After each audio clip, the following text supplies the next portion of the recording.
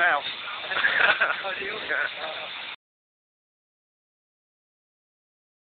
so there's going to be a really big bang right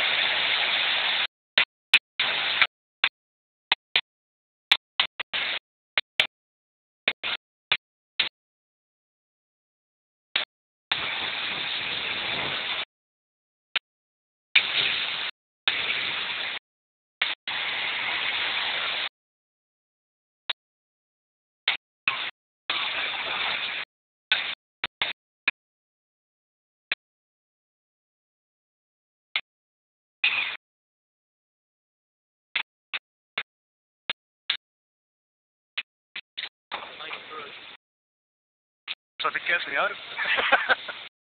He's not going to have any putting out 70 horsepower.